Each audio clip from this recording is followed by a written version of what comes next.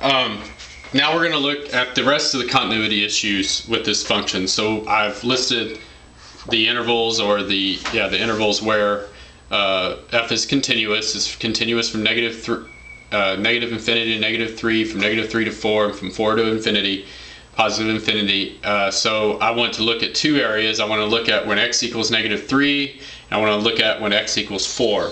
I'm going to choose to look at when x equals four first. So I'm going to take a limit. How do we do that? How do we look at areas that where the function is undefined? Well, we take limits. And I'm going to take a double-sided limit as x approaches 4 and I'm going to put it in factored form, the function. So I'm going to try to save time and space as much as possible. That's kind of sounds interesting, doesn't it? Uh, it sounds like a sci-fi movie or something. Uh, anyway, um, the limit as x approaches 4, and I look at the form.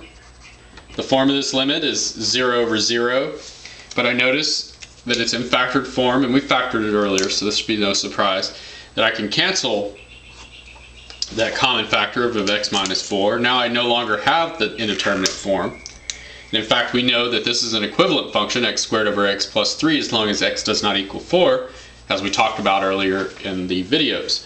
So now we take the limit. I no longer have that indeterminate form, as I stated. Uh, 4 squared is 16. 4 plus 3 is 7. So this tells me that I have a hole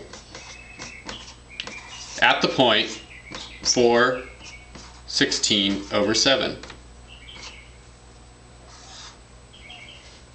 So now we're going to look at uh, x equals negative 3 and we're going to take uh, one-sided limits here. Um, so I'm going to approach negative 3 from the left side and and the reason why is because I noticed when I already had it in factored form, x plus 3 did not cancel. Uh, therefore, it's a non-removable discontinuity. This is a rational function. It's a way to determine that.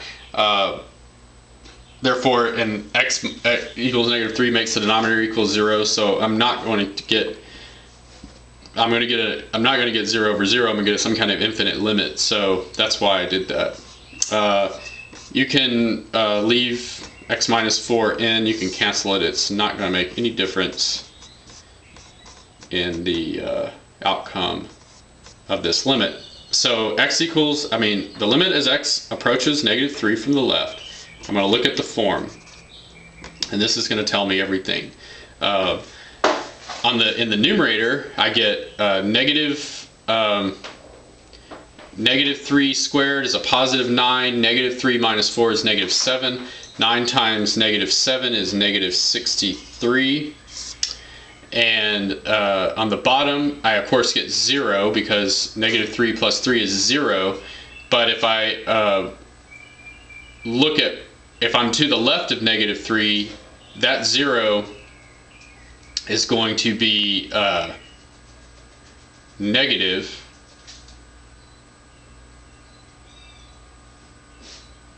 Yes, and uh, since I left these factors in, that's why I'm pausing. Since I left these factors in and, and included this negative here, I'm going to have to go ahead and leave these factors in when, when including this. I, I would normally cancel it because it makes this little process a little easier. But anyway, I've already done it, so there. Um, when uh, x is to the left of negative 3, negative 3 minus 4 is a negative number. When x is to the left of negative 3, x plus 3 is a negative number a negative times a negative is a positive, so we like to write that little positive symbol there. Uh, it's not coming up, is it? Um, so I so I have the form negative 63 over 0 positive, which implies that the limit is negative infinity. Remember, a non-zero number over 0 implies, when you're taking limits, implies infinity. We have a ne negative we say that that limit is going to negative infinity. It really does not exist, but we can describe in which way it does not exist. And uh, we'll go ahead and take the limit as x approaches uh, negative 3 from the right now. I am going to leave the uh, x minus 4 out of there uh, just to show you what I was talking about. I, I, I like it a little better. So now um, I'm going to put a colon there. Uh, the form